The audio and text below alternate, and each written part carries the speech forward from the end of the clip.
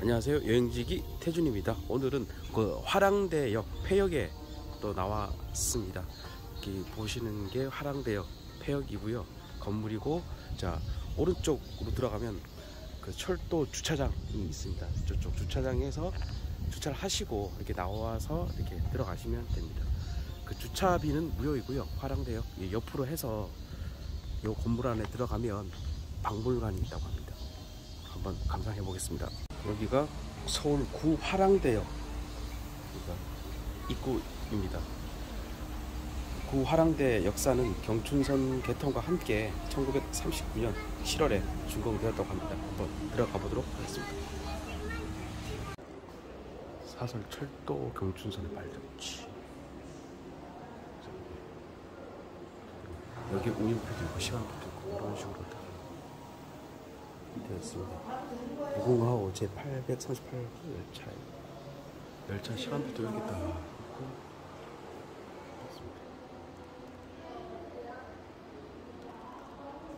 등록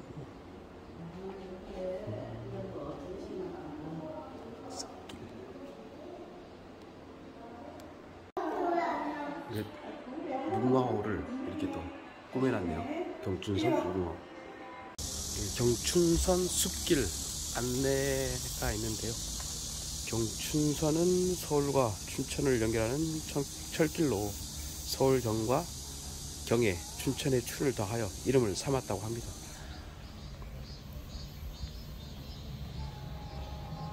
기차 소리가 들리네요. 저기 증기 기관차도 있고요. 무궁화호가 있습니다. 철길이 이렇게 되어 있고요. 성북, 청량리, 춘천, 방면, 화랑대 옆에는 카페가 있고요. 기차가 있는 풍경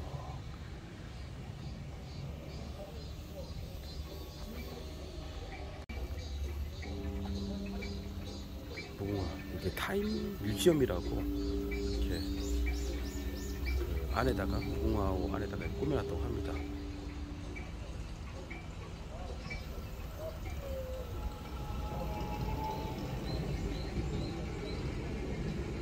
화랑대역.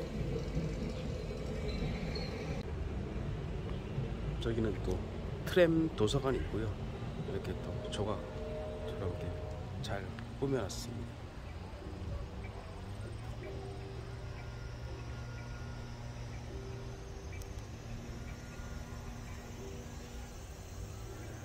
이쪽 이쪽으로 이제 가면 이제 화랑대역에서 담터 마을까지 5.4km 미터까지 이어진 이제 경춘선 숲길이라고 합니다. 한번 이렇게 걸어 보시면 또 좋을 것 같고요.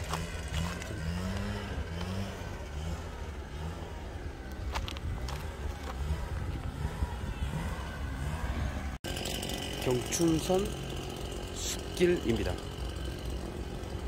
걸어 보시는 것도 좋을 것 같습니다.